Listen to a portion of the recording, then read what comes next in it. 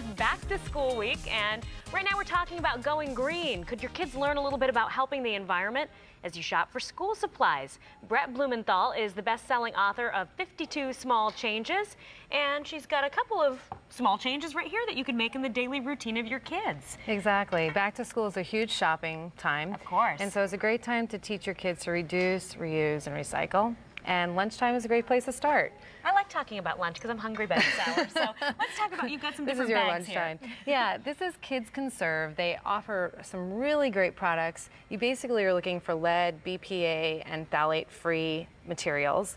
Uh, so they have stainless steel food and uh, beverage holders. They all their products are made with 100% recycled content, uh, plastic bottles and cotton. So they're really safe and, and good for your kids. And there are a lot of other great products on the market as well. Yeah, and it tells you actually this is kind of fun too for a kid who wonders how is this made. It says right on here, I am made from a plastic bottle.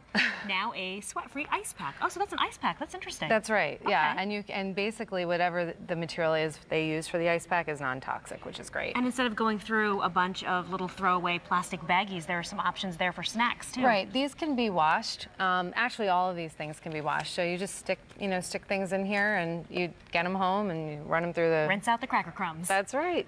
All right. What about what do we have So here? here we have activities and uh, arts and crafts. Uh, basically, you want to look for non-toxic options. This is one of my favorite. It's called Blob, and it's paint made with fruits and vegetables, spices, and flowers. Wow. So not only is it non-toxic, but it smells great. And it's called, And it's called Blob. which is just fun. Who, what kid would not like something called blob? Uh, these are Wikki Stix. They're yarn infused with uh, uh, wax. So basically, they are reusable quite often. You don't have to replace them very quickly. okay. And this I love. This is called the One World Football, and it doesn't need to be reinflated. It's pretty much indestructible. I want to feel it because the material is interesting to me. It doesn't, you know, Do you do heavy. play soccer? Um, come on. No, that's, that's, uh, that's all uh, Shannon. I Shannon's didn't play soccer, soccer player. either. This is, this is me playing soccer. So, Ronnie, you can't pick it up.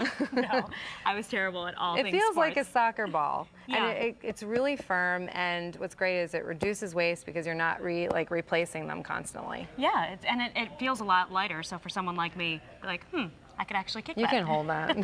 No, let's not knock over the display. This isn't bowling. Um, as far as school supplies go, you've got some uh, recyclable, uh, 100% recycled notebooks here. Exactly. This is the area where you can really find a lot of great recycled options. So Mead has come out with, as well as other companies, have a lot of great 100% recycled content notebooks. Uh, this I love. These are come from Castle Ink, and these are basically reused, recycled ink.